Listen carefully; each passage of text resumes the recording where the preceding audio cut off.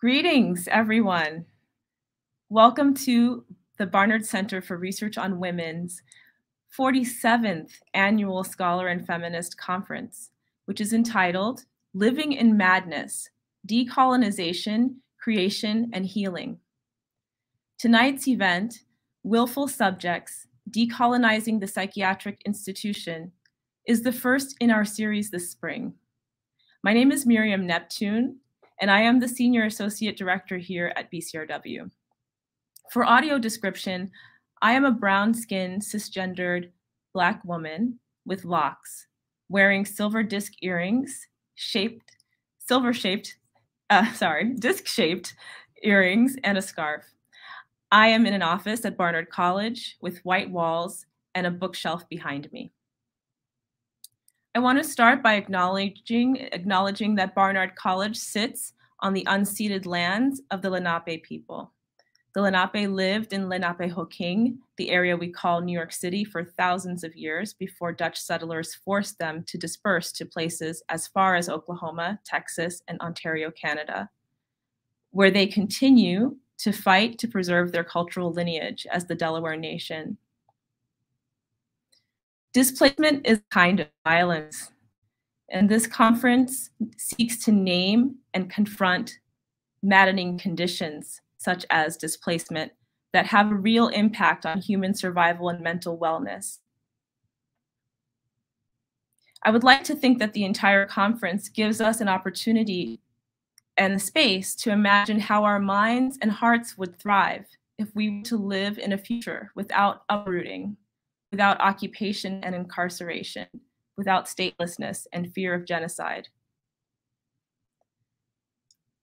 I want to thank all of the BCRW staff involved in this conference and making all of the fantastic programming at BCRW possible. That includes our director, Elizabeth Castelli, creative director, Hope Decter, Sophie Kreitzberg, our post-baccalaureate fellow, and Pam Phillips, our senior program assistant. Thanks to BCRW research assistant Eve Glazier for live tweeting and supporting our Q&A tonight.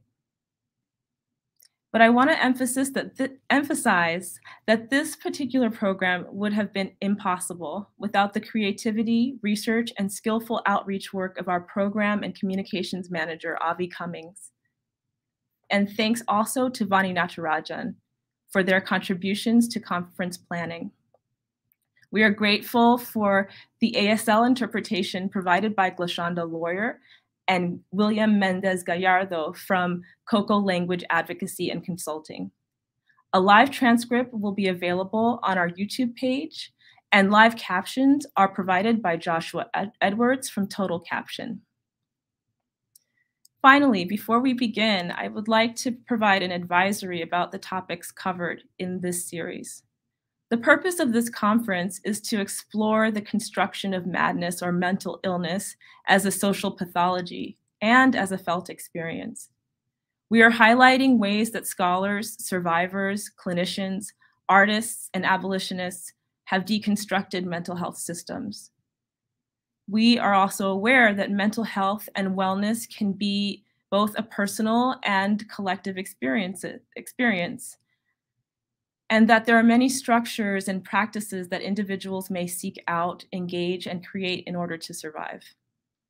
This series is not seeking to vilify or prescribe specific forms of medical care, ritual healing, self-help, mutual aid, or any other mode of relief. You may find that some of the content presented tonight can be triggering due to the depiction or description of harmful acts violence, and systemically oppressive practices. We encourage you to allow yourself the space to interact with this content within your level of comfort. There are many ways to get support if you're feeling overwhelmed, including talking to people in your community or network of care. We're providing a link to the Fireweed Collective's Crisis Toolkit in case it is helpful to you. So as we begin the series and get our bearings, it seems fitting that we start with a conversation about psychiatric institutions and institutionalizing logics. Our four speakers have examined the politics and practices of psychiatry and psychotherapy with a focus on radical agency and collective opposition practiced by clinicians, incarcerated people, and people otherwise subjected to violence. I'm excited that our conversation is moderated tonight by BCRW collaborator and friend Ann Pellegrini. Ann is professor of performance studies and social and cultural analysis at NYU, and also a licensed psychoanalyst. Welcome, Ann.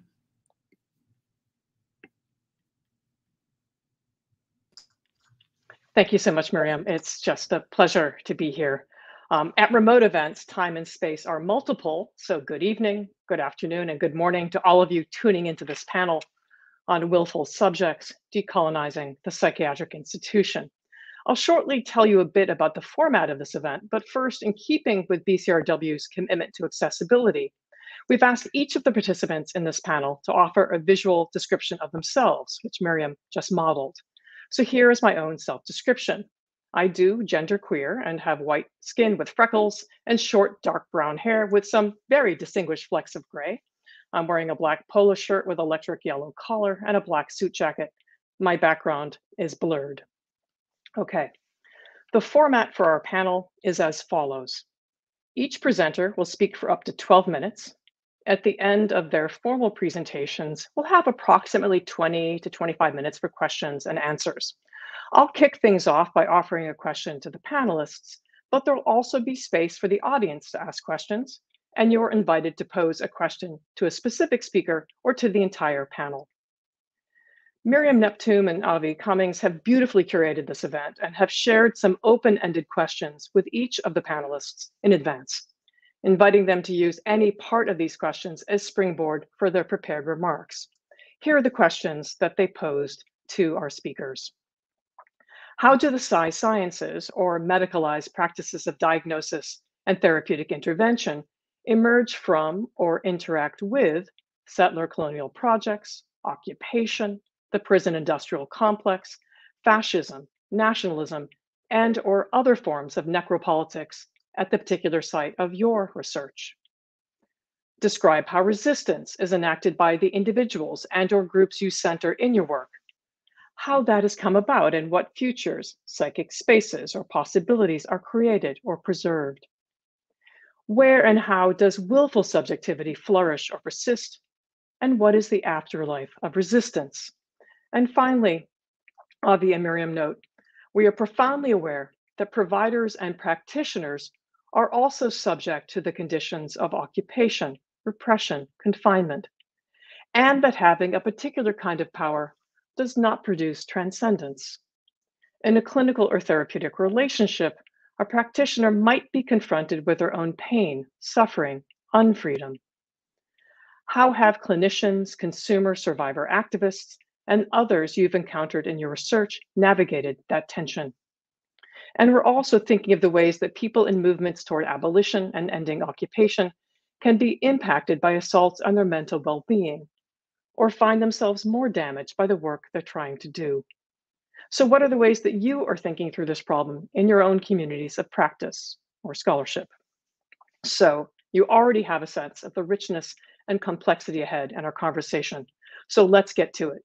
We have four amazing speakers, and to save time, rather than read out their full biographies, um, Sophie will be dropping their bios into the chat box for us. Uh, we'll hear first from Camille Robcis, who is professor of French and history at Columbia University. Professor Robcis. Thanks so much, Shan. Um, and so I want to begin by thanking the Barnard Center for Research on Women, especially Miriam, for this invitation. Uh, I'm really thrilled to have this opportunity to think about these questions um, with my co-panelists and, and with the audience tonight. Uh, in terms of the visual description, I'll say that I am um, a half French, half Mexican scholar with curly hair, and that I'm wearing a black shirt and I'm sitting in my apartment close to Columbia University. So, hello, uh, good night, or good morning to everyone. Um, Sophie, can you share my slides, please? I wanted to yeah, great. So thank you. So um, what I wanted to do today was tell you about a movement that I just finished writing about in this book that came out last spring, a movement called institutional psychotherapy. Um, because it's a movement that thought a lot about decolonizing not just the psychiatric institution, but politics and society as a whole. So, first, a little bit of uh, the historical context in which this movement emerged, because I think the context shaped the ideas and the practices of institutional psychotherapy um, in really fundamental ways. So, institutional psychotherapy was born in during the Second World War in a small village in central France called Saint Alban. The context of the war, and more specifically the experience of fascism, was crucial for bringing together the cast of characters who first practiced institutional psychotherapy and laid its theoretical foundations. Now, as many of you know, probably, the Third Reich openly embraced eugenics and the forced euthanasia of the cognitively disabled. This was known as Action T4, and it resulted in, in around 300,000 deaths. What is less well known, however, is what was going on in France during the same time, where psychiatric hospitals were letting their patients die of cold, of hunger, or of lack of care. And there's been a couple of books on this question on this question in recent years. These are two examples um, of historians who have referred to this practice as uh, a soft extermination that resulted in around 40,000 patients dying in psychiatric hospitals. So the doctors and the nurses and the staff that worked at Saint Alban during the war were all painfully aware of this reality. And so their first goal was to hoard enough food to feed their patients and basically survive the war. But along the way, they were joined by poets, artists, philosophers, and political activists who shared their interest in madness and who helped them to radically rethink the practical and theoretical bases of psychiatric care. For all of them, fascism and the war had made clear the extent to which the political and the psychic were interconnected. Not only was the murder of the physically and mentally disabled central to the Nazi project of social regeneration, but fascism, authoritarianism, and collaboration were clearly not only political choices, they required a particular state of mind. So the, the way they framed it, the, the kind of the first, the founding fathers of institutional psychotherapy, was that alienation was always social and psychic at once, right? So they, they said you needed to understand alienation, you needed Marx with Freud, not Marx or Freud, but but kind of thinking the political and the psychic together. So, for institutional psychotherapy, psychiatry needed, needed to abandon its ideal of scientific neutrality, detachment, and objectivism. And this was really still kind of prevalent in mainstream psychiatry. And it needed to embrace its, its political nature if it wanted to avoid being complicit with genocidal practices. So I'll return to these questions later, but for the, let me tell you a little bit about one of the most important theorists of institutional psychotherapists, um, and his name is François Tosquelles. Tosquelles was a Catalan psychiatrist who was born in Reus in 1912, south of Barcelona. And he was one of the early founders of a political group called the POUM. You see in the slide here um, uh, the, what, it's, what the word stands for. Um, it was a political group that was born in the interwar years that advocated federalism, decentralization, worker solidarity, and self management. And it was especially critical of Stalinism and of, of the kind of mainstream communist politics and the anti democratic, authoritarian, and bureaucratic turn that the Soviet Union had taken during the 1930s. In parallel to his political activism, Tosquelles attended medical school and he chose to specialize in psychiatry. He was one of the early readers of Freud um, in Barcelona and especially of Lacan. Um, he was especially interested in the early Lacan, which is the, the, the Lacan that we tend to read less um, in the US today, but he was um, the, the more medical Lacan, Lacan the, psychi- the psychiatrist Lacan.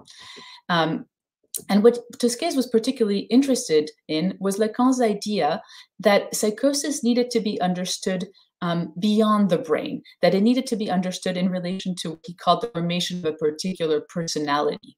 So you needed to think about the patient's childhood, the conceptual structures of the delirium, the drives and intentions behind social behavior. In other words, um, what Tosquelles and institutional psychotherapists were interested in was in thinking the self in all of its social complexity, not just as a kind of question of, of brain structure, but of, of, of social environment. In 1936, Tosquelles fought in the Spanish Civil War, and eventually, like many other Spanish Republicans, um, he ended. He fled um, Spain after Franco won the war, and he was placed in this concentration camp in the southwest of France. Conditions in the camp were dire. Several of the refugees died of hunger, disease, exhaustion. Other were, others were driven to suicide. They were amassed, as you can see in this picture, in overcrowded barracks surrounded by barbed wire, electrical projectors, and surveillance posts. And Tosquelles repeated throughout his life that it was this concentrationist or carceral environment that led him to set up a psychiatric service within the camp.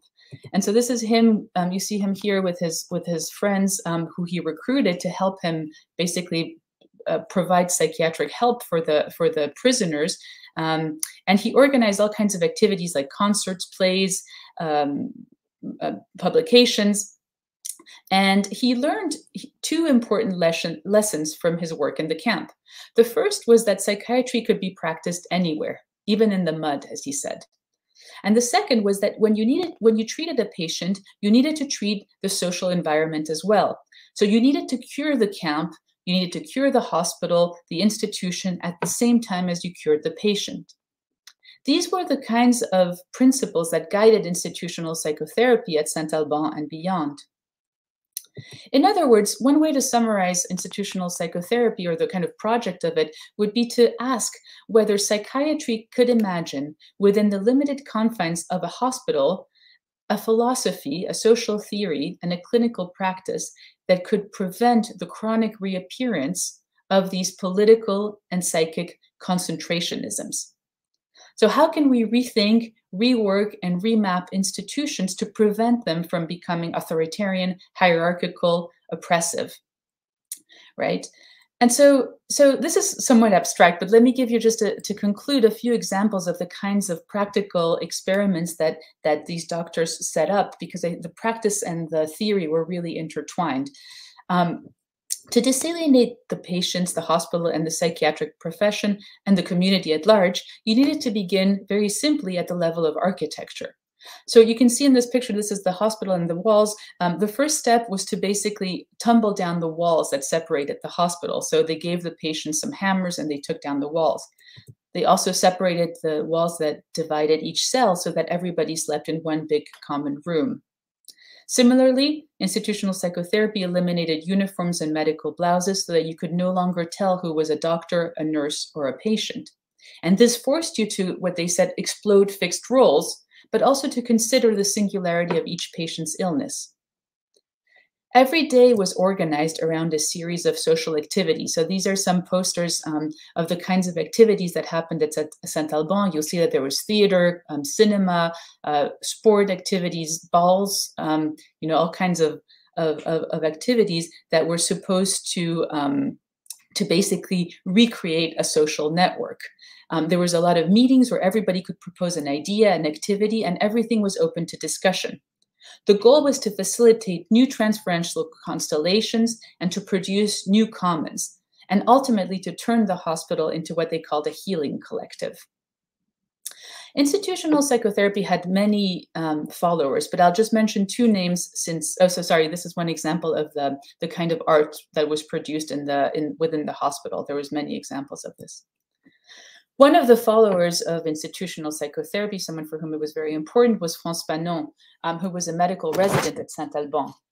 The kinds of experiments that Tosquelles and his colleagues had set up at Saint Alban, the results they were getting, confirmed many of the hypotheses that Fanon had put forth in his early work on race and racism, including um, black skin, white masks. So Fanon brought institutional psychotherapy to North Africa, where he continued to work with psychotic patients and wrote some of his most important political texts there, including The Wretched of the Earth. So I think it's very interesting to think of the ways in which institutional psychotherapy was literally intertwined um, from a theoretical standpoint, but also at the very concrete level of production with Fanon's more political work. The second example is Jean Oury, who was also an intern at Saint Alban after the war. And Oury was famous for opening the clinic of La Borde um, in 1953. La Borde, in particular, provided a home for the philosopher, psychoanalyst, and political activist Félix Guattari. Um, in and the book that you see here, Anti-Oedipus, was what Guattari co-wrote with, with his friend and colleague Gilles Deleuze, which you could also read as a kind of philosophical complement to institutional psychotherapy, as a manual to combat social and psychic alienation. The term they use in their book is Oedipalization. So um, I think just to conclude, um, Foucault, when Foucault wrote in the preface to Anti-Oedipus, he referred to Anti-Oedipus as a book of ethics. Um, its goal was to convince its readers to give up their attachment to authority, to oppression in their practices of everyday life. And this is, the, I think, the important question that Foucault asks. How does one keep uh, from being a fascist, even especially when one believes uh, oneself to be a revolutionary militant? How do we rid our speech and our acts, our heart and our pleasures of fascism? How do we ferret the fascism that is ingrained in our behavior? So, even though institutional psychotherapy was born in reaction to the historical fascism of Hitler, of Franco, of Vichy, um, I think it also tried to give us tools to better understand the, the kind of libidinal aspect nature of all politics, um, not just right wing politics, but politics more generally. If the carceral environment of, of psychiatric hospitals or concentration camps could be transformed into these spaces of psychic healing and renewed communal bond, then all institutions, whether it be political parties, unions, families, schools, could also function similarly if they were treated with care. To produce a collective was to produce its conditions of possibility, to work through the effects of transference, countertransference, resistances, and power with constant vigilance. And I'll just let end, let, end with these last words of Jean Oury, which is how he defined um, institutional psychotherapy. It's hard to translate it in English, but it, it says ne pas laisser en passer une, to never let one go, or to never give up, right? To constantly, it was a kind of uh, you never desalienate, you're never desalienated once and for all. It's always a work in progress. So I'll end with this idea. Thank you very much. Um, we can end the PowerPoint. Thanks. Thank you so much, Professor Robcis. Um, it's my pleasure now to introduce our next speaker, um, Emily Ng, who is Term Assistant Professor of Asian and Middle Eastern Cultures at Barnard College. Thank you so much. Thanks everyone for being here, sharing the screen for a moment. Um, thank you so much to the Barnard Center for Research on Women, to Miriam in particular for um, inviting me to be part of this. And thanks to Ann for acting as mo moderator for us, as thanks to ASL interpreters as well and the captioner. So a quick visual description. Um, I'm sitting in my apartment in New York City. I'm in front of a darkish brick wall, wearing a sweater that's a little bit too thick for uh, today's weather. It's cozy. So um, if uh, Sophie and Hope, you wouldn't mind putting up the slides. Thank you. So I'll start today by reflecting for a moment on the generative phrasings and images used for our panel curated by Miriam. The title um, of the panel, Willing Subjects, from Sara Ahmed, and the image from an architectural decolonization project called Return to Nature, uh, pictured here, um, to perforate the former Israeli military buildings um, with holes in order to integrate them into the landscape while making new habitats for migratory birds to pass through and take shelter. In Ahmed's account, um, to be deemed willful, the willful woman, the willful child, is to be brimming with an excess of will beyond what might be deemed appropriate for that particular subject. And so here on the left, the willful child image from the Grimm's fairy tale that she cites, uh, whose limb refused to quiet even after death. Unlike the sense of any sense of the will that might be safely contained within the bounds of reason and within the bounds of an individual, um, points out that a certain externality of the will sits um, in willfulness. Quote, they acquire life not by being or at least staying within subjects. They're not proper to subjects. So between the willful subject and the broader conference theme, Living in Madness, which is the poster on the right, I think from Camille's book, then comes questions of the externality of the will, um, the disintegration of uh, an alienation of self, as well as potentialities of habitation opened up by the perforation of institutions.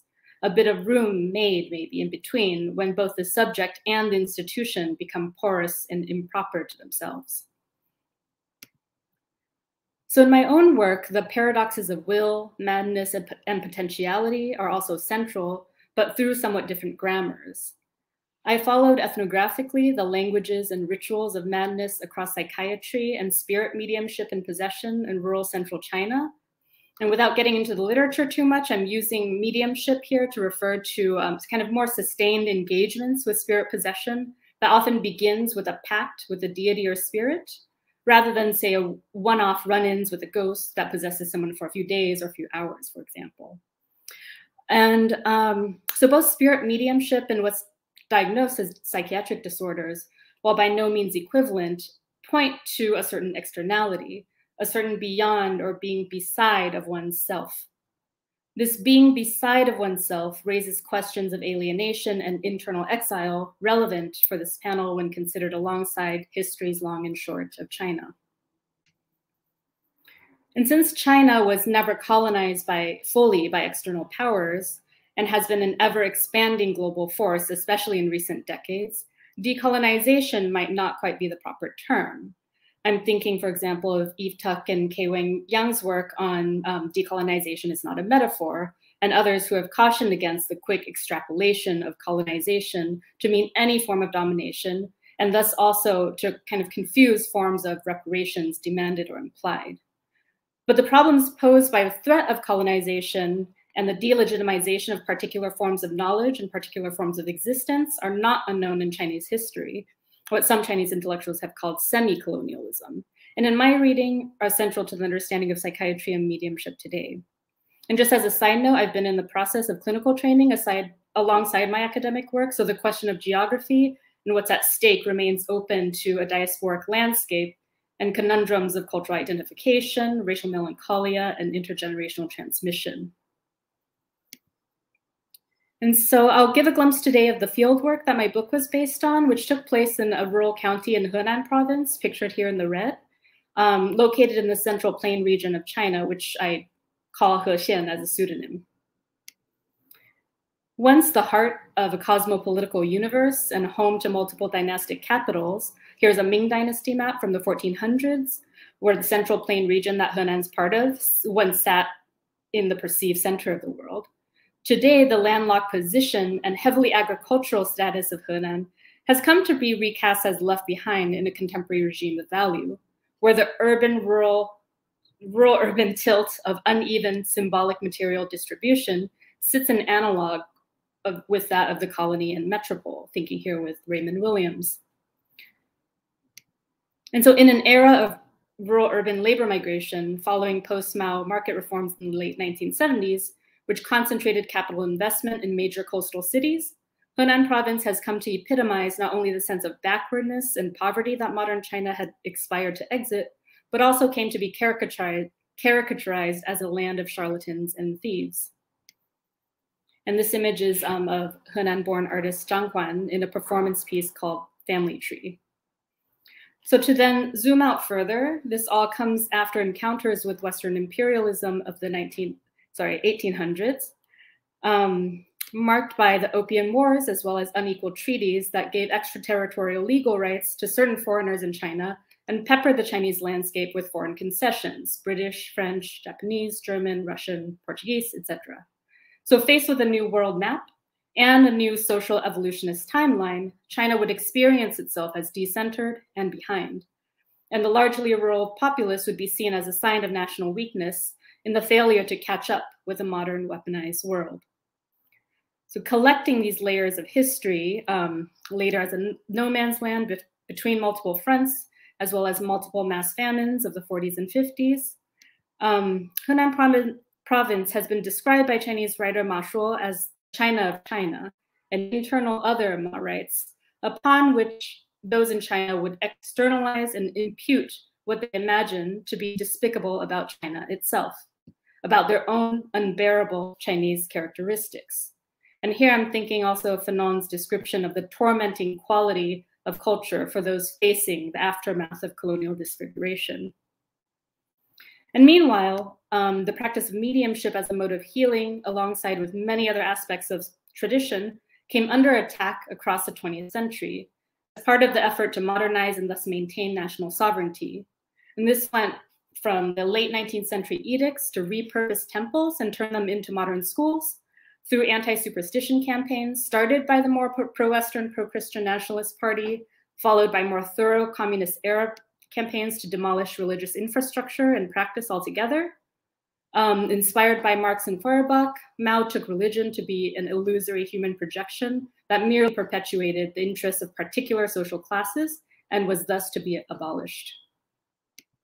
So it was in this context that this radical cosmic transformation, which would reformulate the very terms of laying claims to reality, that psychiatric and other medical institutions then entered the scene, first by way of medical missionaries, then continued by Chinese states, perceived as an apparatus necessary for modern governance.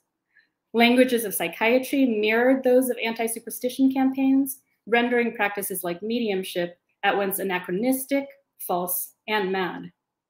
So with this in mind and the symbolic denigration of the rural uh, of the rural of Henan province and of mediumship itself, we now go to Hexian for a moment and enter the world of mediumship. For the spirit mediums I met in Hexian, the uh, the actions of human beings were not fully within the jurisdiction of a self-conscious, self-transparent human subject. The body is a vessel that may be inhabited by multiple unseen entities, which may, they would say, borrow your mouth to speak or borrow your body to act. And such otherworldly communications can induce bouts of madness as well as bodily pain and other ailments. And those with soft bodies, the feminine, the ill, the very young, are more prone to be perceptive of, as well as afflicted by, such presences and their signals. And while this loss of self mastery is sort of constitutive of any mediumship practice. The loss of command over one's own actions and desires was said to grow particularly hazardous with what was described as a proliferation of duplicitous, corrupt spirits today.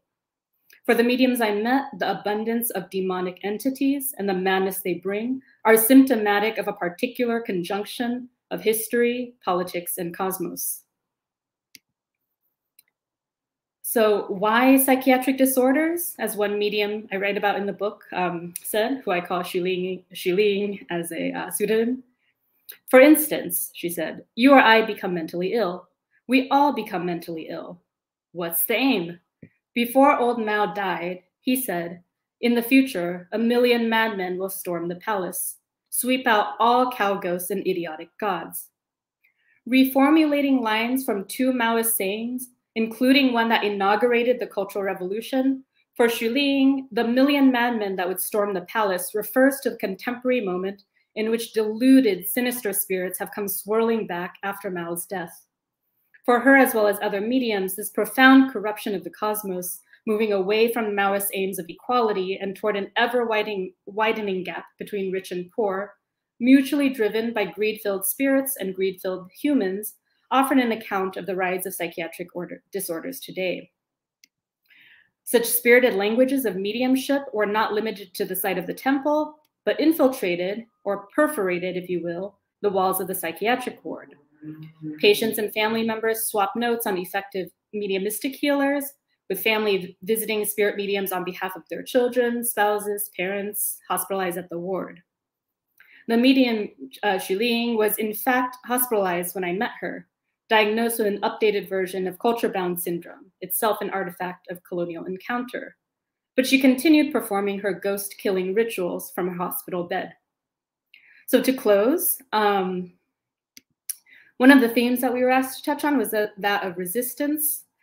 I'm not sure if I would call mediumship resistance per se, because notions of a self coincident subject that sometimes are connoted by terms like this, not psychoanalytically speaking, but um, politically or generally speaking, might get slippery when we're talking about practices like possession and mediumship. But if we return to the more unruly quality of the willful subject as not proper to itself, and to the possibility of momentary, momentary habitation opened up by perforations of the institution, then I might consider the co-presence of ritual and mediumistic languages and practices at the hospital and beyond as another way of rendering the walls and shapes of the institution more porous, so to speak, to other modes of existence and other modes of habitation. Thank you. Thank you so much, Professor Ng. Um, that was wonderful. And I'm, I'm delighted now to um, introduce Lara Sheehi, who um, is an assistant professor of clinical psychology at the George Washington University's Professional Psychology Program. Dr. Sheehi. Thanks, Ann. Uh, مساء الخير أهلا وسهلا بالجميع وشكرا لوجودكم uh, معنا اليوم. Tonight, I'm beaming in from the stolen land of the Abenaki, Passamaquoddy, and Wabanaki people. Uh, I'm a light skinned Arab cisgender woman with big curly hair. I'm wearing glasses, a choker necklace, rings and bracelets, and a black brow- blouse. I'm sitting in a room with big windows and wooden panels. Thank you to the BCRW, especially Miriam, Avi, Sophie, and Hope uh, thank you also to our interpreters and closed captioners and everyone else whose labor made this possible. Thank you, of course, to my fellow panelists whose work I've long admired, and a special thank you to my partner, Stephen, who's my partner in every way, but specific to tonight in writing our book. And he's the person who sustains my militancy. Um, finally, solidarity with all political prisoners everywhere, especially in this settler colony in Palestine. In Can the Monster Speak, Paul Preciado punctuates his rousing call to psychoanalysts. I'm quoting, quote, my mission is the revenge of the psychoanalytic and psychiatric object in equal measure over the institutional, clinical, and, and microsystems that shore up the violence wreaked by the sexual, gender, and racial norms. We urgently need clinical practice to transition this cannot happen without a revolutionary mutation in analysis and a critical challenge of its patriarchal colonial depositions. End quote. Psychoanalysis under occupation is an account of one such revolutionary mutation occurring in real time across Palestine by Palestinian clinicians. To map out this mutation, my partner and co author, Stephen Sheehi, and I engaged in a decolonial feminist solidarity building approach to work alongside our Palestinian colleagues, not as they are and were interpreted by and through settler colonial logic, or what Francoise Vergès terms, quote, civilizational feminism, but rather, and very pertinent to today's event, through what Sara Ahmed terms being willful subjects. Heeding Ahmed, we saw in Palestine that, quote, willfulness is a diagnosis of the failure to comply with those whose authority is given and involves persistence in the face of having been brought down, end quote. It's not coincidental that a decolonial feminist style of politics guided our book. Decolonial feminist and queer methodologies and positions that affirm and that cis heteronormative patriarchal structures that include all forms of capitalism, colonialism, and settler colonialism are the problem, and they identify willfulness as a problem. We were invited into a world where Palestinian clinicians, comrades, and colleagues asserted themselves daily as defiant, unassimilatable problems, engaging in acts of refusal that alerted us to their willful self affirmation of material reality individually and communally, when they, as Nadera Shalhoub Kevorkian says, speak life, speak Palestine, and inst on the power of livability. This willfulness is produced and reproduced individually and therapeutically through clinical practice and the ways in which it embodies itself in the social practices of the political, social, collective, and individual ethos of sumud, or stalwartness. Clinicians, in turn, produce, reproduce, and support sumud of their patients, colleagues, families, and communities. Sumud does not only reify communal bonds, but also works against neoliberal demands of individuality or psychoanalytic theories that act as arbiters of an ableist notion of health and wellness. Here, Sumud emerges as the space whereby Palestinian clinicians and their patients together forge spaces of livability, despite the ever increasing chokeholds, to quote Puar, that are constitutive of the Zionist settler colonial regime. Most importantly, as a socio-psychic practice built into clinical practice, we learn that sumud, just as in the street and in the home, is not stagnantly working towards resilience, but rather is a practice of liberation. Our Palestinian colleagues highlighted the process by which they've been forging clinical networks, self sustained clinics and workshops, and an ethics of care, what we call the Palestinian Psychotherapeutic Commons or an Indigenous Palestinian psychoanalytic praxis. One particular case shared by our comrade and friend and revolutionary feminist clinician, Yoad Ghanadry Hakim, was with her work with Amjad. Some of you may have heard this work or have read it, and yet for me, each time I speak it, I speak it anew. So I'm, I'm hoping you can join me in that. Amjad is a man in his early 30s who worked in an Israeli textile company inside the 1948 borders of the state now known as Israel.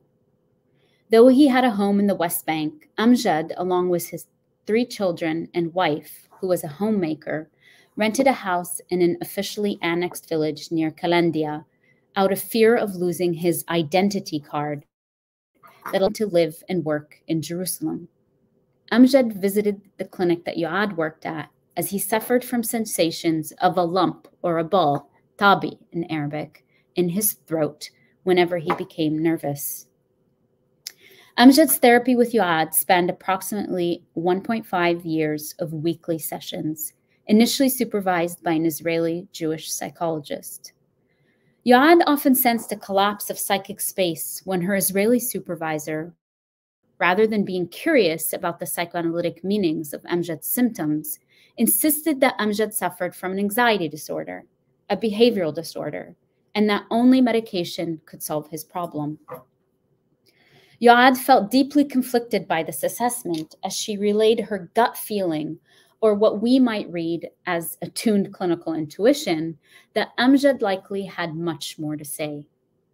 She feared that medicine could potentially preemptively shut Amjad, his exploratory, and their collaborative process down. Yoad insisted that she could she should continue to be curious with Amjad about what he was trying to communicate in the displacement, in the counter transferential space, and in the dyad, attentive to the systemic meanings of his symptoms, especially under occupation. Despite her supervisor's resistance, Yoad worked with Amjad to uncover and recount all the moments in which he had felt suffocated by the ball when his wife reminded him of payments for the pathetic car he had bought, when he passed in front of his closed house in the West Bank, when his Israeli boss asked him to bring him fresh olive oil from their tree in the West Bank, when he entered the area controlled by the Palestinian Authority, another part of his own country, and he read the sign, No Crossing Border, Dangerous Area. When Amjad started to breathe better, Yoad's supervisor indicated abruptly that it was time for Yoad to terminate Amjad's treatment because she felt there was no further growth or depth to explore. Yoad, sensitive to the power imbalance, initially followed her supervisor's advice and told Amjad that they needed to move to termination, at which point Amjad exploded in Yoad's terms, telling her she was weak and that she was, quote, not the one who owns the decision or the decision making process. He accused her of, quote, not really being concerned with taking care of and protecting sick people, end quote. Yoad remembers being shocked, but internally very happy at the outbursts, which allowed her to make the decision to continue Amjad's treatment alone without consulting her supervisor any further. During this phase of treatment, Amjad started talking about anger. More specifically, he spoke about getting angry inside his car, the lousy car in which he crossed the Kalandia checkpoint twice a day, once on his way to work and once on his way back. Amjad reported getting angry in his car whenever he read the word mabar, which translates into crossing on a sign. He reported feeling anger because he did not feel like he was just crossing from one area to another. Rather, he felt he was inside one space, but was prohibited from free movement in another while standing at a checkpoint. This is Amjad. Why do they call it a crossing? This is a checkpoint. A checkpoint. It's a checkpoint. In a session soon after, he began to uncover his anger. Yoad reminded him that they had not spoken about the ball in his throat for quite some time now, inquiring where it was and if it remained a symptom for him. He said, Sometimes I feel that there is hate or hatefulness in my throat and not a ball. This is when Yoad decided to ask him who he hated, to which he responded, I hate myself. After a moment of silence, Yoad said Amjad opened up about an incident that had happened two years prior. He reported taking his seven year old daughter in the morning with him on his way to work, as she'd wanted to meet with a friend in Jerusalem. He remembered that his daughter was very happy that morning, as she'd been fantasizing about this magical day with her friend for quite some time. He recalled that she wore a beautiful new dress and had put flowers in her hair. Amjad further shared that his daughter was singing throughout the trip in the car. Her song, bouncy, bouncy, bouncy ball, bouncy, bouncy over the wall. When they reached the Kalandia checkpoint, Amjad was surprised to see tear gas and a confrontation between the occupation army and protesters. Worried about his daughter, he tried to reverse, but his car was stuck in the midst of hundreds of cars, all trapped. After 15 minutes, the occupation soldiers closed the checkpoint and prevented the cars from moving. All the had hugged his daughter, who had begun to cry uncontrollably, trying to calm her and contain her fear. Eventually, she told her father she needed to use the bathroom. Amjad was not convinced that they would be allowed access to a bathroom, but his daughter's crying was escalating, and he could tell she was in considerable discomfort. Amjad told Yoad that he waved down a settler soldier, telling him, My daughter needs a bathroom. The soldiers ran towards him with their raised. He says to Yoad, I raised my hands towards the sky and shouted at them, She wants a bathroom. Please let me pass. The settler soldiers yelled, Get back in your car. Get back. Get in the car. Tell your daughter to piss herself in the car. All the while, his daughter continued to cry. Baba, Baba, I need a bathroom. Amjad got back in his car, hugged his daughter, and with a trembling voice told her, Do it here, Baba. Do it quietly here in the car. He remembered how at that moment his daughter's screaming stopped as the smell of urine spread in the car. Amjad looked at his daughter and found her shedding silent tears. He hugged her as he drove them home, and as he looked at the checkpoint gate, he remembered the cheerful song of his daughter at the beginning of the day.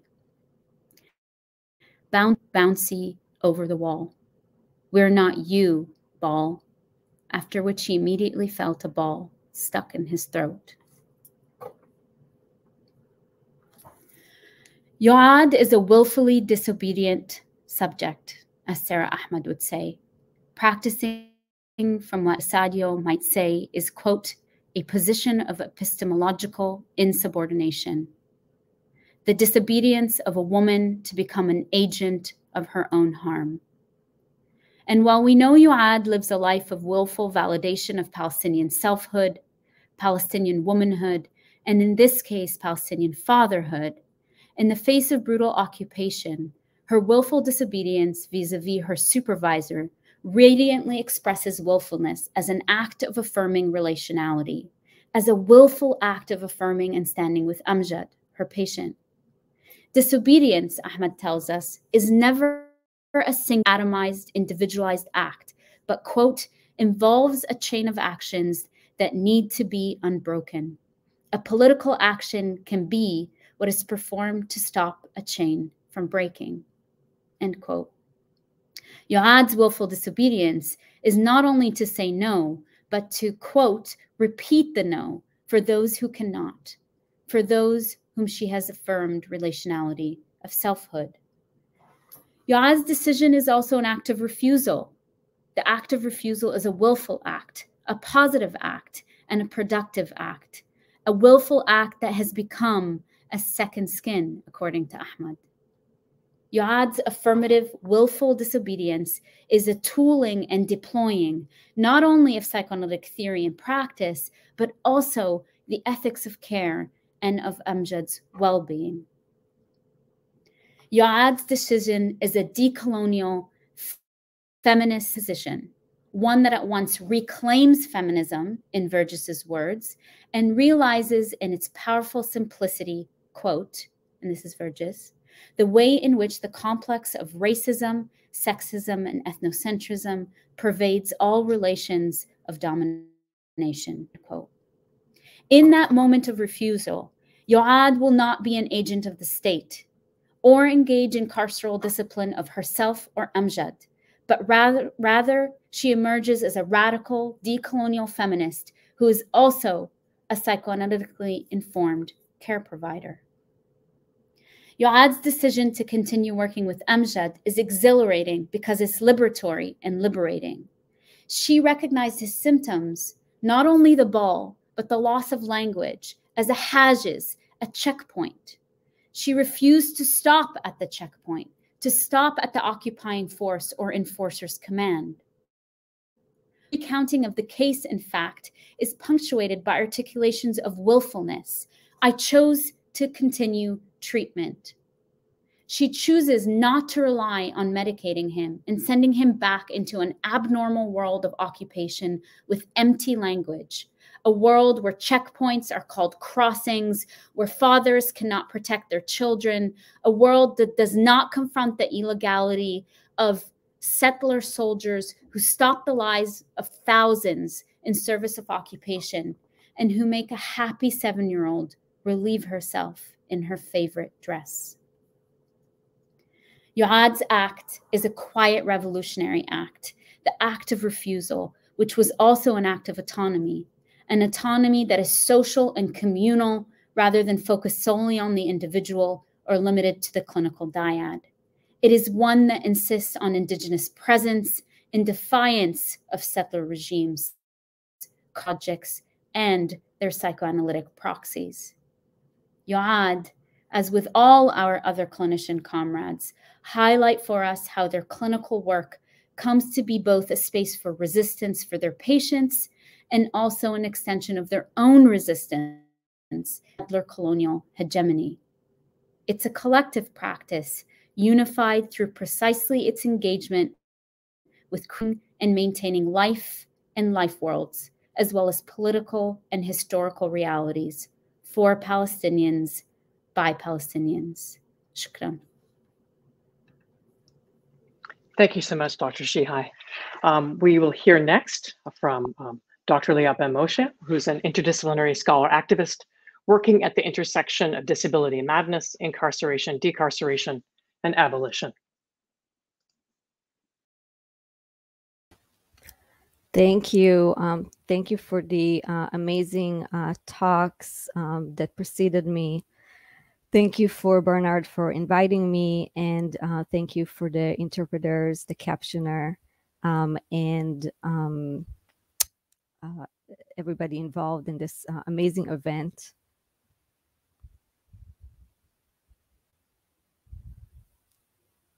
So uh, I'm situated in Chicago which is on the traditional territories of the three fire people, the Ojibwe, the Ottawa, and the Potawatomi, amongst others. Um, I am uh, a, a, pretty pale, um, pers- femme-looking person. I have lipstick, uh, glasses, jewelry to indicate that I'm a femme, a femme person. Uh, my hair is um, kind of like a red blonde with more and more gray in it and um, I'm sitting in my wheelchair that has like flames behind me. Uh, my background is a blurred background of a bookcase. And what I want to offer uh, for you today is uh, some remarks about the body and mind politics or the connection between the national body and the disabled mad body. Basically, about the difference that disability and madness makes, uh, going off um, Lara's amazing talk about acts of, of refusal from the, the subjects of, of psychiatry. Um, in in that case Amjad, but I want to bring a kind of more collective light to it. So uh, all of my work tries to speak to the nexus of the carceral and therapeutic and how they're connected to each other. So really to speak about the entanglement of the carceral and therapeutic nation state. My aim is to broaden what gets to be defined as carceral when we say carceral, we often think about um, surveillance, we think about uh, prisons, um, and so on, but we don't always think about uh, psychiatrization or institutionalization of people with intellectual disabilities. Um, and I really appreciated that the talk started, uh, Camille started with eugenics, which was, of course, you know, the core of some of these um, practices the entanglement of the carceral with the therapeutic is, of course, a racial and gendered project. Um, and this is what I call uh, in uh, my work uh, racial criminal pathologization, which is a discourse that um, you know we can trace from eugenics um, to contemporary uh, discussions and acts of police sanctioned murder. For example, in the uh, diagnosis, quote unquote, of excited delirium, for example. Uh, this um, entanglement of the carceral and therapeutic is also spreads across countries and continents, of course. So I have three points for you today, no slides, three points. Uh, I want to talk about how discussing all of this without talking about disability and madness is problematic for three reasons and I'll give examples for each. One is it avoids an understanding of disability and madness as an analytical category. Second, it you know it's really important then to understand disability and madness as a way to view the world as a lived experience. And third, um, I'll talk about why it's important to understand disability and madness um, as a freedom struggle. So my first point is that uh, it's really important to understand disability and madness as an analytical category. And, you know, I come from the field of disability and mad studies. And so, for example, you know, if we take um, the, the uh, talk that um, was just presented, um, some of the work that I and other people do uh, looks at how, uh, for example, disability can be viewed historically as the antithesis, antithesis of um, Zionist uh, ethoses, because um, it was seen as a remnant of a diasporic weak Jew of the past. So Zionism, as the ideology that created um, 1948 Israel, is an ideology that thought to transform Jewishness into a national identity, but also a national body type and a national kind of mind type. So um, one of the things that's really you know important uh, and what i'll talk about throughout um, my remarks is that reclaiming disability can be very trans transformative and it can move us towards true liberatory resistance to the occupation and other forms of dominance state repression colonialism and so on so if you remember just one thing out of what i'm going to say is that of course, um, madness is produced by horrific things like colonialism, uh, militarization, racism, uh, police violence, and so on. But that should be prevented by the abolition of those forces, the abolition of colonialism, the abolition of nation states, not the dream of the abolition of disability and madness. So resisting militarization and colonialism should always be on the agenda of disability mad activists and so on. Uh, and I think Sophie's gonna uh, put something in the chat um, to uh, a, a, manifesto of sorts um, to bring that uh, important point. The violence of colonialism, occupation, military aggression, though, does not only cause impairment and disabling environments, but also renders disability endemic and unremarked. So, in other words, um, imprisonment, occupation, um, and also I want to say activism against racism, against occupation, um, is full of trauma. Uh, it's very disabling. It's very maddening. But disability or madness shouldn't be articulated only through the lens of pathology. Disability or madness is also an entry point. It's not just uh, an end point.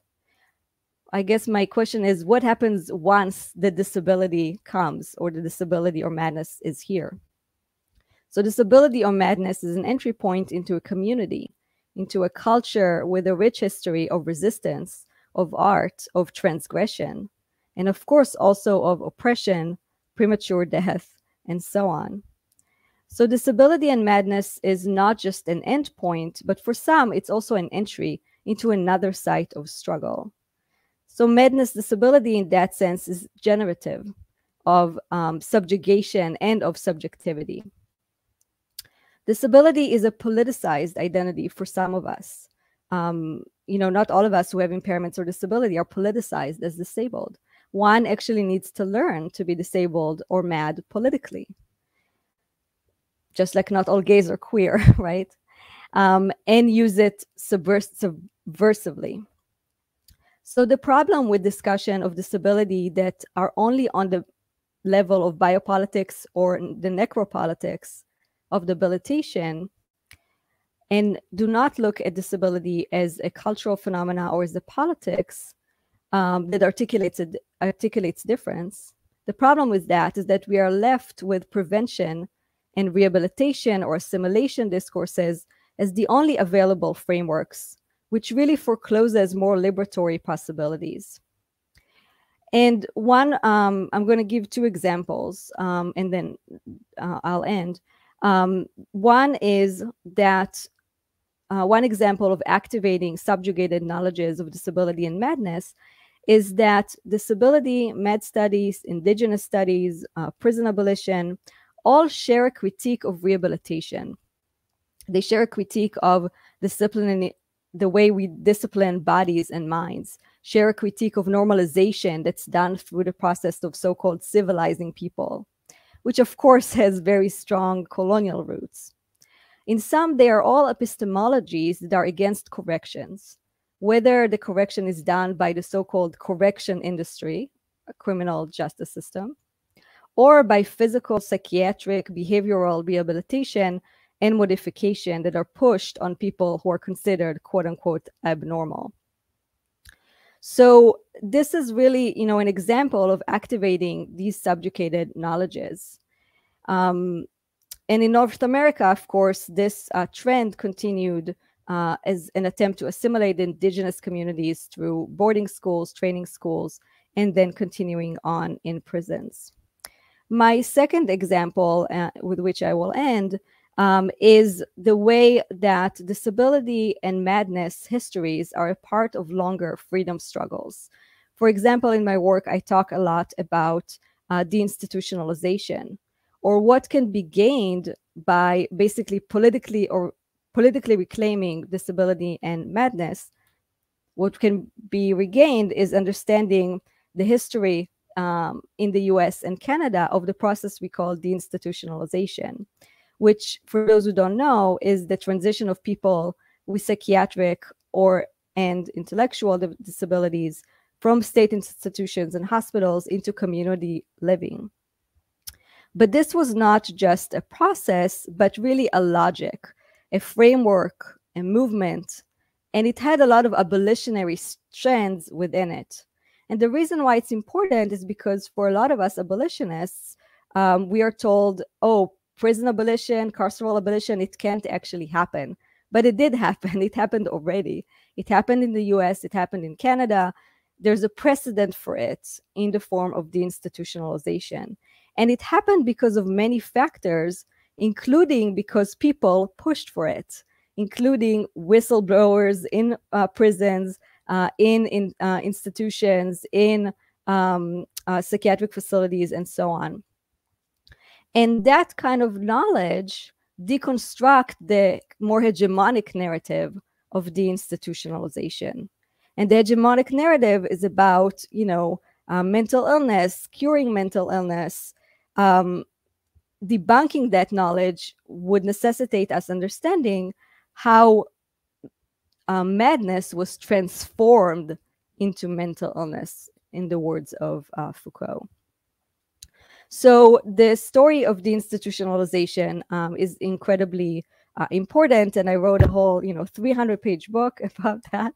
If people are interesting, uh, interested, but what I want to uh, say in closing about this is that um, you know the, the story of deinstitutionalization is also a story about the retrenchment of biopsychiatry.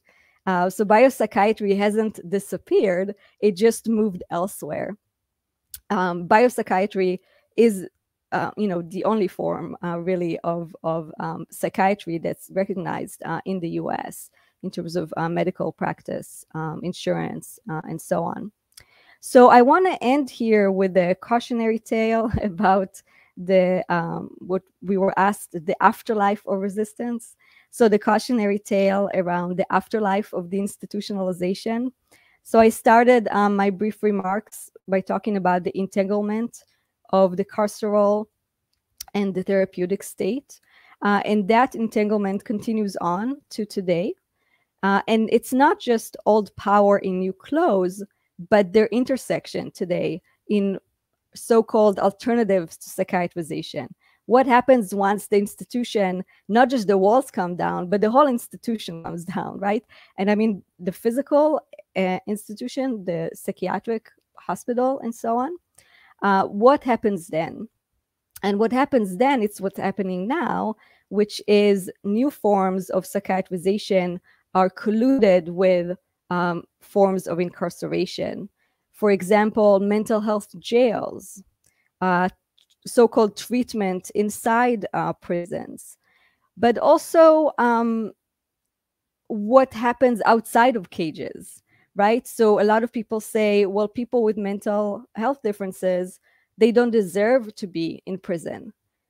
And then people advocate for their psychiatrization, which anti-psychiatry activists and mad activists tell us is a form of um, surveillance eh, surveillance that is a form of carcerality. It's not an alternative to carcerality, it's actual carcerality. Um, what happens now is new forms of chemical incarceration, uh, treatment, community treatment, drug orders, me meaning you don't want to be psychiatrized, will come to your house and you have to take pills. Um, this is going on psychiatric confinement instead of imprisoning, uh, drug courts. All of this is what I call uh, carceral ableism and carceral saneism, which is the praxis and belief that people with disabilities, mental health differences, need special or extra protections in ways that often expand and legitimate our further marginalization and our further incarcer incarceration. So, in closing, you know, this use of pathologization of disability, of mental health, of substance use, uh, and protection from unruliness, which is, of course, colonial and racist, should not be used as justification for carceral expansion. Um, and, you know, the last thing I would say this is why we need to focus on disability and madness as an epistemology, as a framework from which to create social change we cannot create social change by um, you know uh, staying in in kind of ableist uh, practices that only look at disability and madness as something to be fixed and as a deficit. Thank you.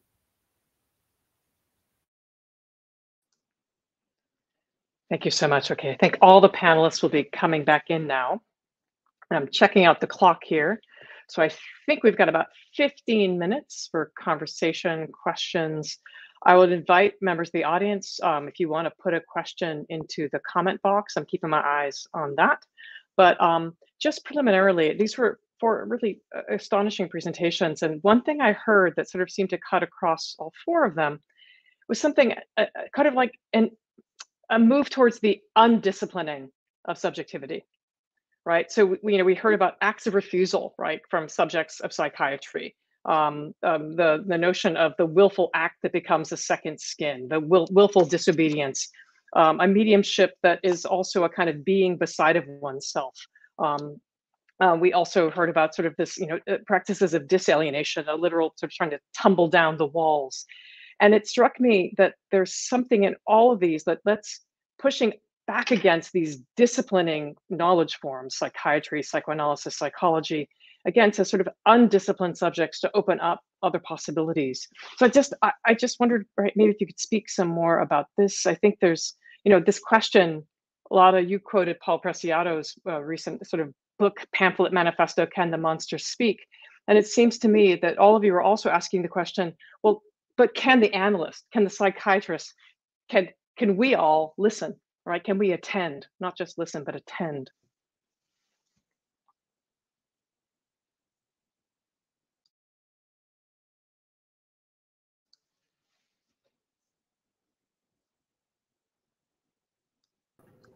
Uh, what I'll say, Ann, is that you know, can can we listen? Can we attend? And can we disrupt?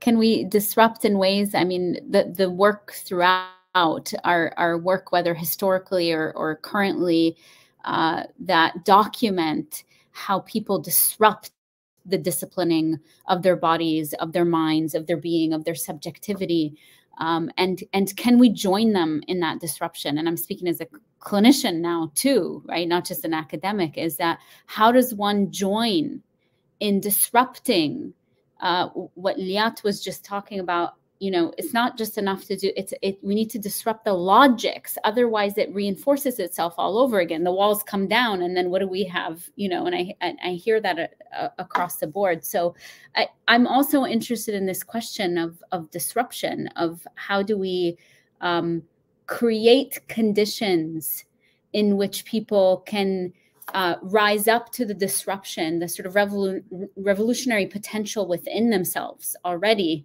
rather than us quash that out of our own inter internalized disciplinary uh, processes, whether whether trickle down from our institutions or our trainings or through ableism or through all the ways in which we are complicit in disciplining bodies and minds, right? If to, to Fanon's point, when we become confusion mongers, we we're the we are the confusion mongers in this.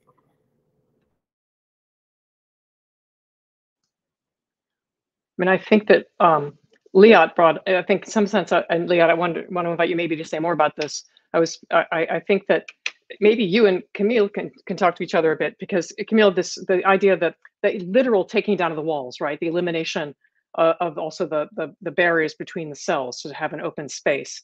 And one of the things that Liat's also pointing out that the the deinstitutionalization, the breaking down of the walls in a different way, has led to now, you know, it's sort of well, power regroups. And now with biopsychiatry, you don't need different kinds of walls or different kinds of practices. So I'm even thinking about the disruption that stops being disruptive after a certain time. Yeah, um, thank you for your uh, question, uh, and and I think um, you know I don't want it to sound like this kind of uh, purely like uh, Deleuzian um, you know, the new societies of control, which he wrote already in the old societies of control, like the 90s.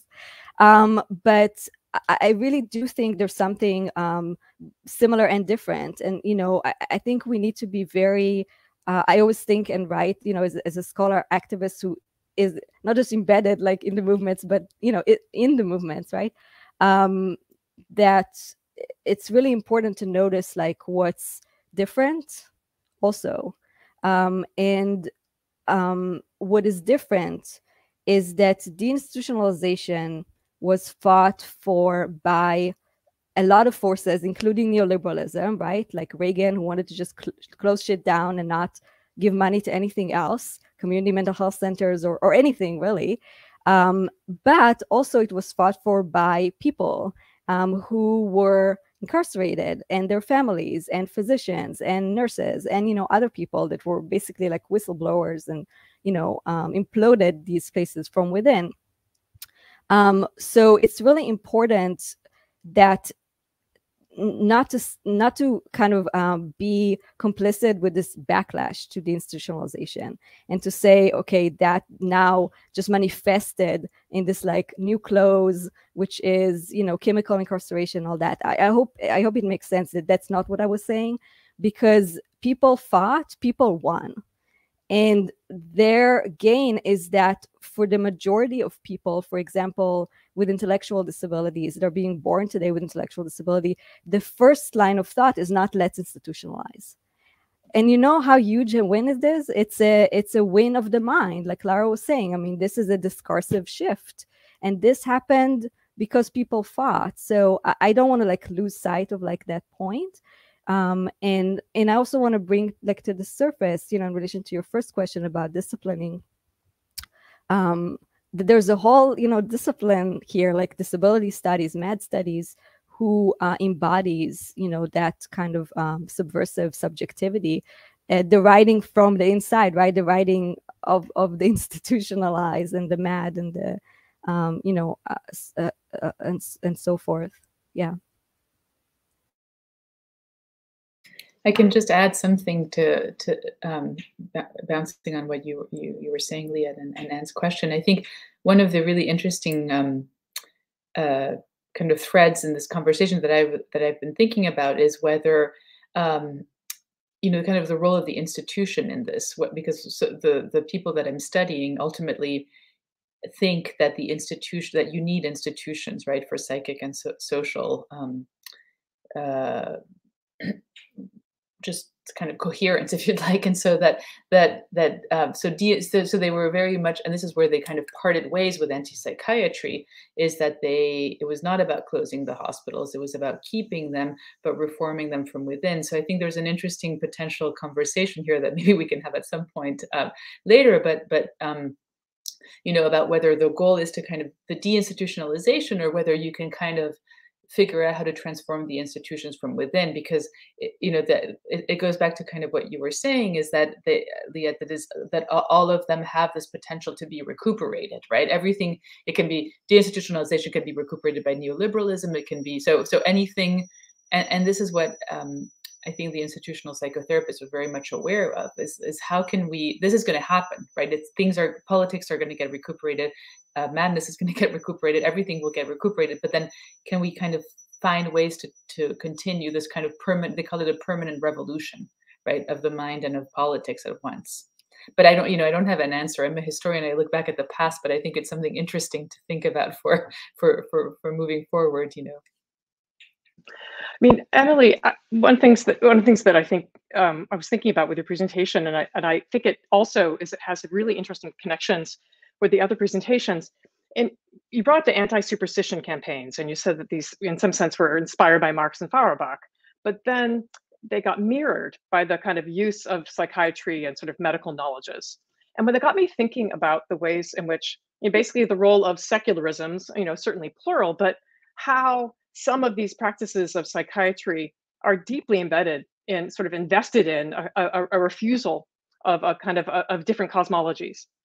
Um, that, that doesn't have to be the case necessarily, but certainly historically. And I guess I wondered if you could say a little bit more, because I think you importantly get in, uh, this is maybe a, a, a, too flat a term in the, in the context in which you're working, but you get in questions of religion or spirituality that um, have a kinship potentially with madness.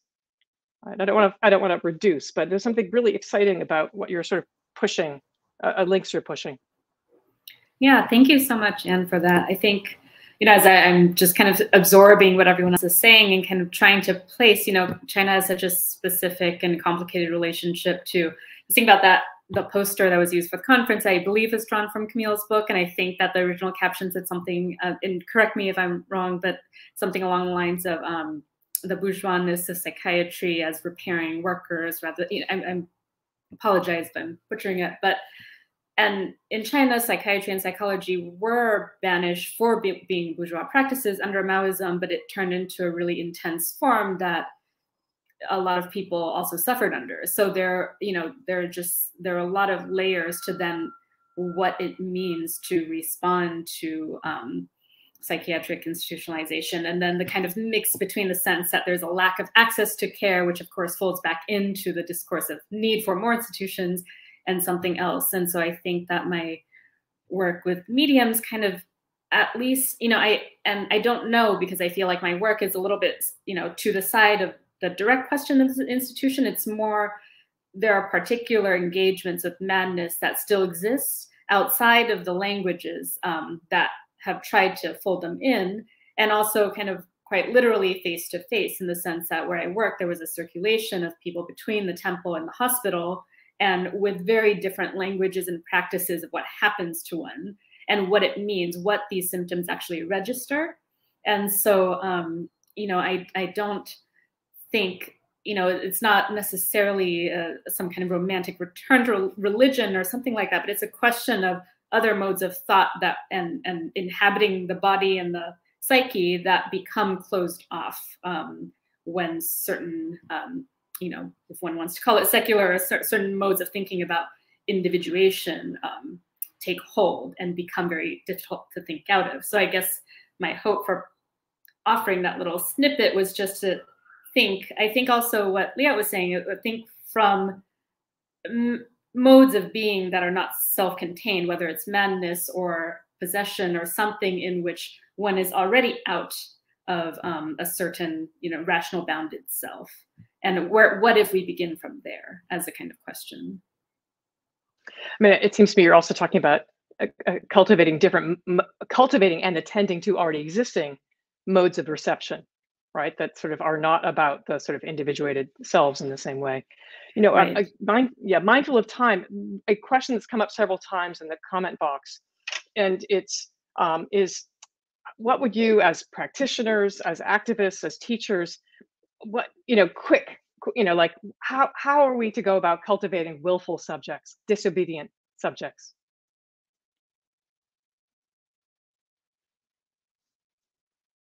as if you have a quick blueprint up your sleeve right now. I love that. This is uh, this is a I love Ann's questions. Um, so th this might go back to Camille's point about perpetual revolution, right? Is that I think to commit ourselves to that. This is not you know it, it's not easy work it's not revolution is not sexy all the time it's doing the hard work um, of and and and not in an ableist sense but together in community. How do we continuously relate to each other in, in an abolitionist way and really commit to being abolitionists too right?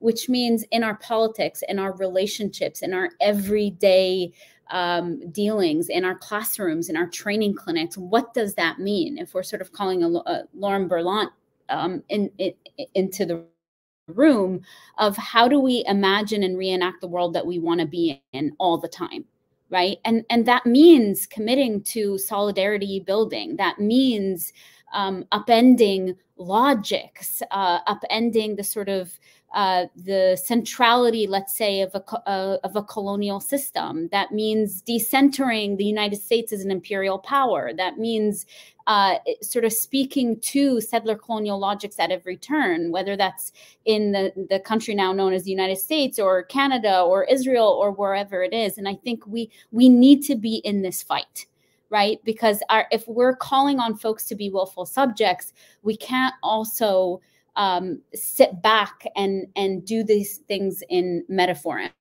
Emily, you brought up, you know, Tuck and, and Yang's um, a, a concept, right? Decolonization is not a metaphor. I don't think our action or our commitment to abolition and to these movements can also be metaphorical. We really need to be showing and thinking through together in solidarity about what that looks like, the, the redoing, undoing, remaking of worlds and worldliness constantly.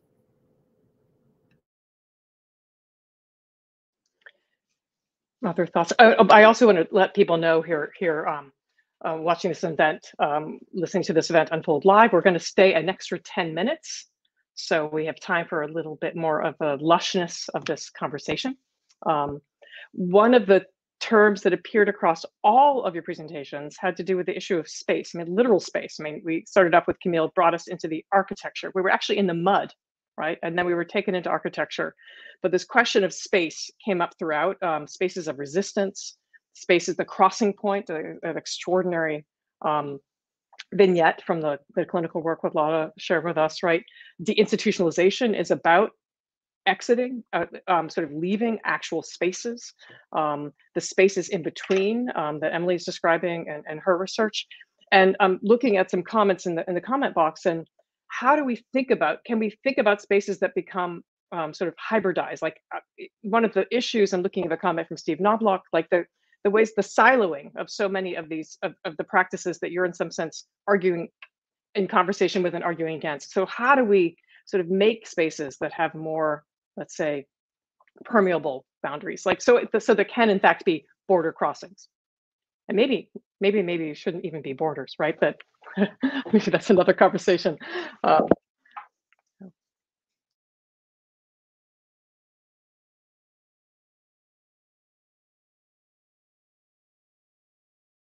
yeah, I, I think that's a great question. I think I think we're all kind of like your questions are so then that we don't even want to like nullify them with an answer because they'll be not as good as the question because the question is what we really need to think about. I mean that is the question right?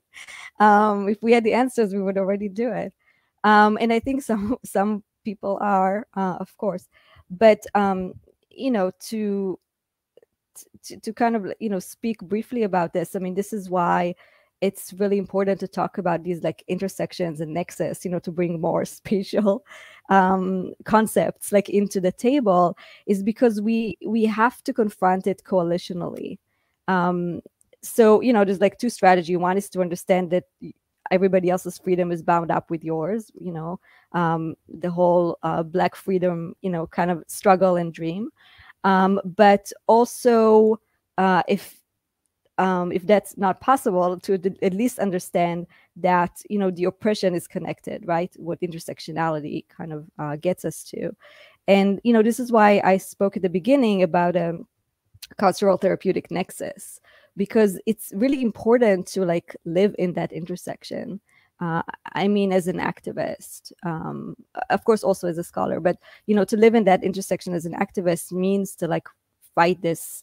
Um, is live in the hybrid and and sometimes to live in the hybrid or the hyphen or the in between um you know is uh, i'm not the person who coined this but you know somebody said that some you know being in an intersection sometimes means you get run over i mean that's the right that's the um the um, danger but um I don't see any other way. You know, it's it's to, and this is exactly what you mean about the access, right? Like the madness, the um, you know the, the disability it's to live in the access is to live in the in the more than or less than or the you know and so on and so on. And, and i think that that's a very subversive actually position to to embody.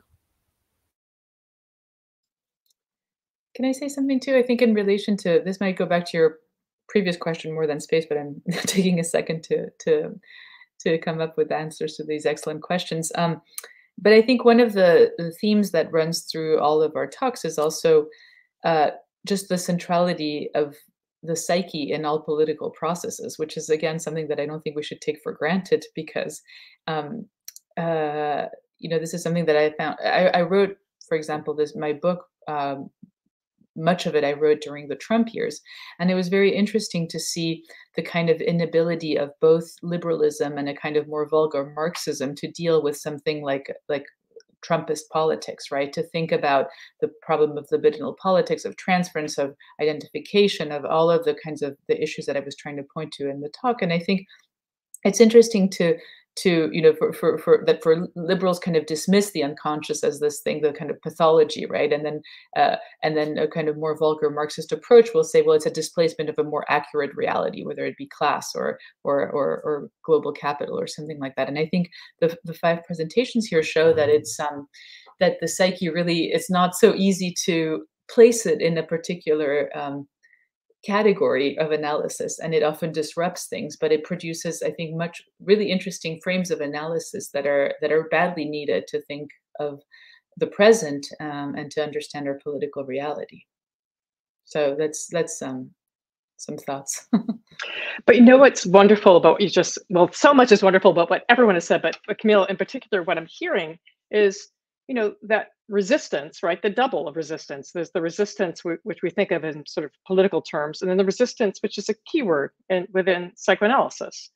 And that you know in some sense i want to say i want I was about to say thank god or goddess for the unconscious so that then we have to say tangent which version of the unconscious? But back to my story right? Thank god for the unconscious because we could think of it as a kind of you know sort of like a, a space of resistance to the too quick here comes the social story's over right? It is, we could think of it as a kind of engine for excess, though that doesn't necessarily lead to good things, right? This is, there's a political neutrality to what ex, to excess, right? That's Trump's, right. the excess of Trumpism, it might not be, you know, not my cup of tea. That's right. And there isn't going to be a single um, cure for the unconscious, right? They're never going to find one single pill, one single part of the brain, one single diagnosis because of this question of resistance. So I think that's in some ways also goes back to the question of willful subjects, right? Willful subjects are also subjects of the unconscious.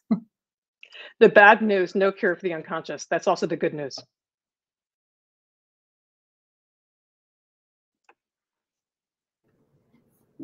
I think one of the most moving things that we we saw in Palestine is again to go back to this is that nobody on the ground is confused about this right? And i think it's it's uh, uh, upon us kind of in conversations like this but also in movements cross solidarity movements like liat was sort of bringing forth is to support those efforts is to support those efforts by by any means necessary really in terms of the community building that folks are doing. Folks that have inherited categories of of lessness, let's say, to have spaces to create their own liberation by their own hands for their own people with their own indigenous tools, right? Without our sort of, you know, wanting to rehabilitate that in some way is to i think part of the liberatory process is no longer having to rely on the colonial tools or the or or the logics of oppression in the way that has so long been continued, right? Is to sort of come in and be like, no, these these these practices of being a medium, for example, are my practices to be a medium for this particular way, and I'm no longer relying on science in a particular way, or I'm no longer relying on the settler colonial regime to come train me. I'm saying I'm making a psychotherapeutic commons in Palestine for Palestinians by Palestinians. And how do we sort of join in that, in imagining these worlds? Together with people and in enacting them as well.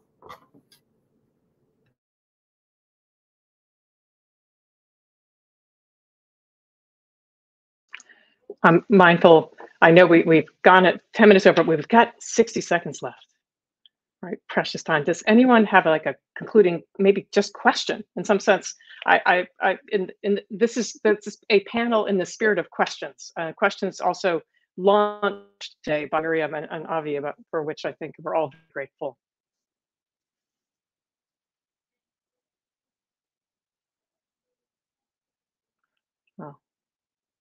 I would I say gonna... immense, immense gratitude, but not just for the panel, but for the whole conference theme. Mm -hmm. um, so you know, I know uh, Miriam probably going to talk about the next panels, but I am so looking forward to those as well. And and just you know, taking up this theme, like I really, um, you know, commend Barnard for for kind of like doing not just a one-off, um, you know, thing, but really a sustained effort to really engage with these deep questions around the the difference that madness makes.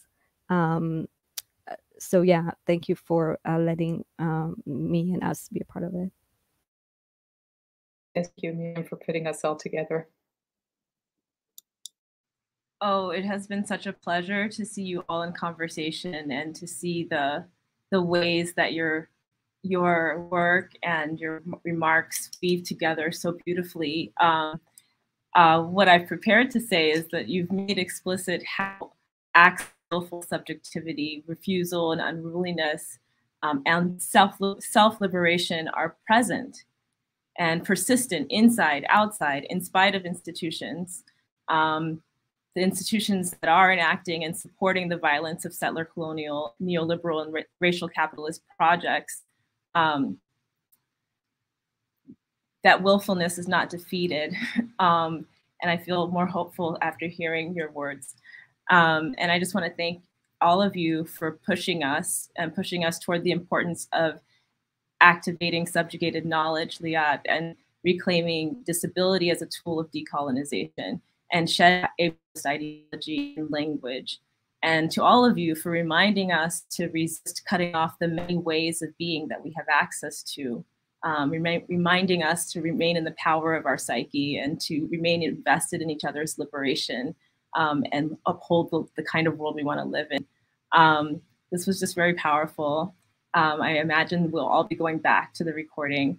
Um, I want to now invite everyone to join us for the rest of our series, including the Silver Science Lecture we have next um, in two weeks, Tuesday, March 8th at 6.30 with Dr. Helena Hansen, whose, title, whose talk is entitled White Out, How Racial Capitalism Changed the Color of Heroin in America. Um, and our staff will be providing the links to those future events in the in the comments area. Um, and before I forget, I want to uh, thank you, Ann, for keeping this conversation moving and bringing your your uh, humor and insight to it as well. Um, it's just been very beautiful, um, and I expect the rest of our events to also be um, exciting. So I invite everyone who is here tonight to join us for those. Um, and finally, we encourage you to read our panelists' work, um, visit the bookstore, our bookstore partner, Word, Up Books, um, and visit the Barnard Library if you have access, um, or to any university library. Um, and thank you again for joining us. Please come back.